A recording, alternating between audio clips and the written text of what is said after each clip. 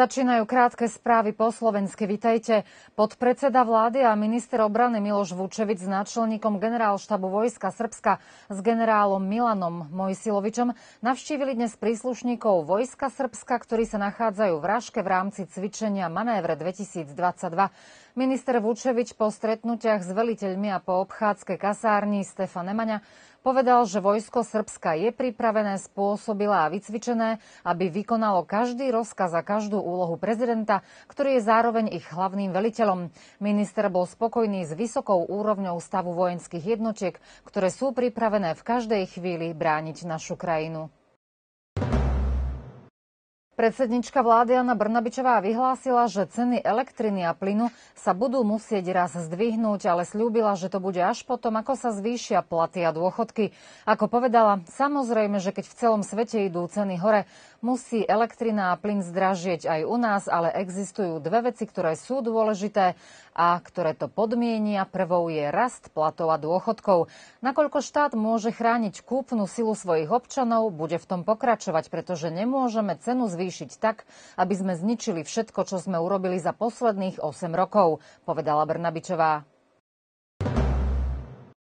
Ministerka baníctva a energetiky Dubravka Dedovičová dnes vyhlásila, že vykurovacia sezóna v Srbsku úspešne začala a tým, že sa začiatok vykurovacej sezóny posunul, výrazne sa tým ušetrilo až 50 miliónov eur. Podľa jej slov Srbsko je pripravené na zimu. 10. októbra boli ukončené všetky prípravy. Na obstaraní dodávok energentov sa usilovne pracovalo. Z verejnokomunálneho podniku Toplana Stará Pazova pre našu RTV potvrdili, že všetky byty a podnikateľské objekty sú od včera vyhriate a občas sa hriatie zapínalo aj v predchádzajúcom období v rámci tepel tepelných skúšok, povedal riaditeľ Toplany Zoran Vukašinovič.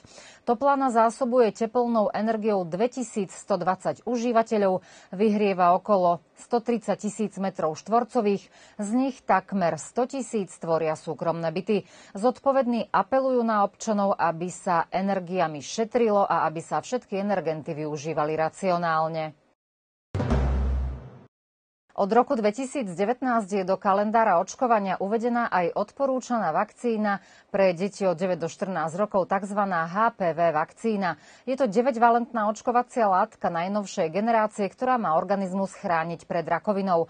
Očkovanie financuje Republikový fond zdravotného poistenia. Po prvýkrát v júni tohto roku vakcíny dostal aj Staropazovský dom zdravia a doteraz zaočkovali asi 120 mladých, povedala pre RTV Stará Pazova riaditeľka domu zdravia Svetlana Dudičová. Deti od 9 do 14 rokov prijímajú túto vakcínu v dvoch dávkach, od 14 do 19 rokov v troch dávkach a niektorí odborníci odporúčajú, aby sa dali zaočkovať aj osoby do 26 rokov. Spôsob prihlasovania a celá procedúra mnohým rodičom nie je dostatočne jasná, pretože verejnosť nemá zatiaľ dostatok informácií, myslí si riaditeľka Dudičová. Vakcínu môže odporúčiť vybraný lekár, respektíve pediater, aj dievčatám, aj chlapcom a rodičia detí do 18 rokov musia podpísať súhlas. Táto vakcína sa úspešne používa v mnohých krajinách už 15 rokov. V piatok 4. novembra sa v konferenčnej sále Športového centra Futbalového zväzu Srbska v Starej Pazove bude konať verejná prednáška na tému Kvalita vzduchu v Staropazovskej obci. Ako pre RTV Stará Pazova vysvetlila doktorka Alexandra Pantenkovičová z občianskeho združenia za zdravšiu obec Stará Pazova, ide o vážnu tému, najmä teraz pred zimnou sezónou, kedy sa naplno spustí vykurovanie. V Starej Pazove je na rôznych miestach postavených 10 meračov znečistenia ovzdušia, takže v každej chvíli sa dá overiť, aký je aktuálny stav vzduchu. Takéto merače sa plánujú postaviť aj v ostatných častiach Staropazovskej obce. Údaje o znečistení ovzdušia si občania môžu pozrieť na stránke klimerko.org. Prednáška v piatok je určená pre širšiu verejnosť, pre tých, ktorí majú záujem a začiatkom decembra sa bude konať ešte druhá prednáška.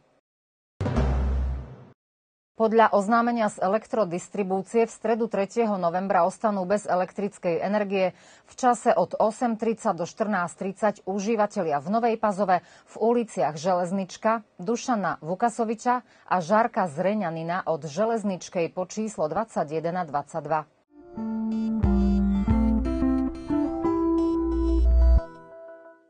Vo štvrtok polooblačno, počas dňa by sa narovnako mali striedať aj intervaly so slnečnými lúčmi, aj s oblakmi.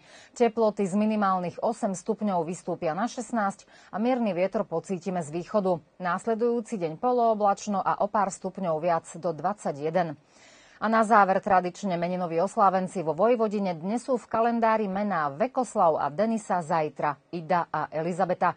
To už bola posledná informácia dnešných správ. Príjemný zvyšok dňa.